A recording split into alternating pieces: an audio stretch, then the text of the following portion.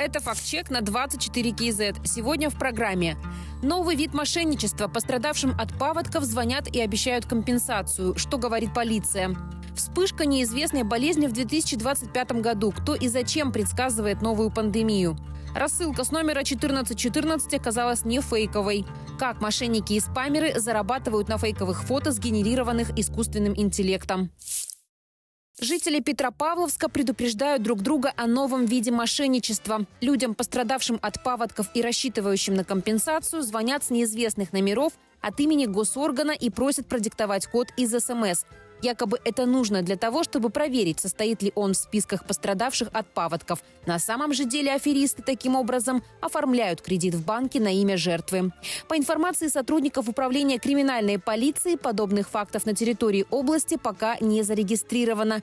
Тем не менее, сотрудники правоохранительных органов призывают граждан сохранять бдительность и не предоставлять по телефону конфиденциальные данные. Категорически нельзя никому сообщать коды, приходящие в СМС. Нельзя переходить по сомнительным ссылкам. Можно заразить телефон опасным вирусом, который позволит мошенникам совершать банковские операции от имени владельца, предупреждают полицейские. Цитата. «Вопросы компенсации пострадавшим от паводков решаются только в официальном порядке, при личном визите либо с использованием официальных веб-ресурсов», сказано на официальном сайте Министерства внутренних дел Республики Казахстан.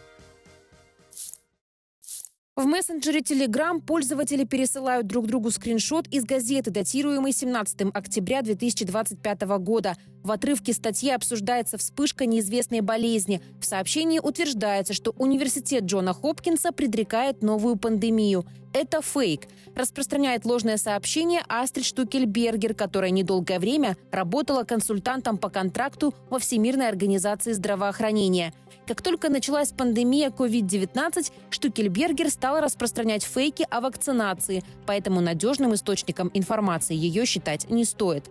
Скриншот, который используется в сообщении, взят из публикации 2017 года Центра безопасности здоровья Джонса Хопкинса. Назван доклад «Пандемия СПАРС 2025-2028», но это не предсказание новой вспышки заболевания. На самом деле отчет представляет собой возможный сценарий для систем здравоохранения разных стран. Здесь описаны различные проблемы, которые могут возникнуть во время пандемии и как на них реагировать. Таким образом, пересылаемый скриншот не предсказание новой пандемии, а всего лишь гипотетический сценарий, который призван помочь специалистам сферы здравоохранения отработать возможные риски. Казахстанцы распространяют в мессенджерах информацию о взломе сайта ЦОНов. Текст аудиорассылки гласит если с номера 1414 придет СМС, по ссылке дальше не заходите. Нашу базу, оказывается, взломали хакеры. Сейчас на всех оформляют кредиты. Сегодня база не работает с 9 часов. Скажите всем. На самом деле пересылаемое голосовое сообщение фейк. В пресс-службе оператора электронного правительства опровергли информацию о взломе базы данных и разъяснили ситуацию. Цитата. «Рассылка от 1414 не является фейковой. Данное сообщение поступило тем пользователям, которые не зарегистрированы в eGov Mobile».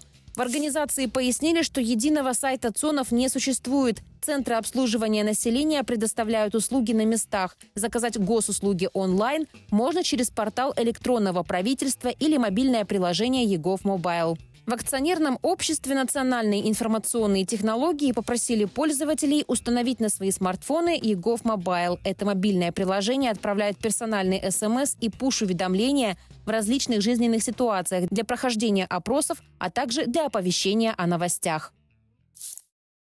Мошенники и спамеры используют фейковые фото, сгенерированные искусственным интеллектом, чтобы привлекать на свои сайты больше людей. Большая часть контента является кликбейтом, то есть заставляет людей останавливаться и вдохновляет делиться такими фото и комментировать их – Некоторые подписи к поддельным фото даже стимулируют взаимодействие, напрямую предлагая пользователям, например, оценить картину начинающего художника, даже если изображение было создано искусственным интеллектом, или пожелать пожилому человеку счастливого дня рождения.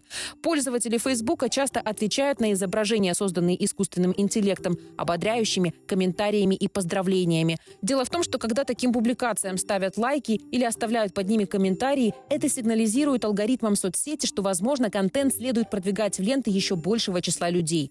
Некоторые из наиболее известных спамеров, вероятно, осознавая это, улучшили свою вовлеченность, создавая изображения с помощью искусственного интеллекта, нажимая на которые пользователь попадает на сайт с рекламой. Мета, похоже, осознает, что если сгенерированный контент смешается с информационной средой без уведомления пользователей, это может создать большие проблемы. Компания опубликовала несколько объявлений о том, как планирует поступать с искусственно созданными публикациями. В мае этого года Facebook начнет применять маркировку «Сделано с помощью искусственного интеллекта» контенту, который он сможет надежно определять как сгенерированный.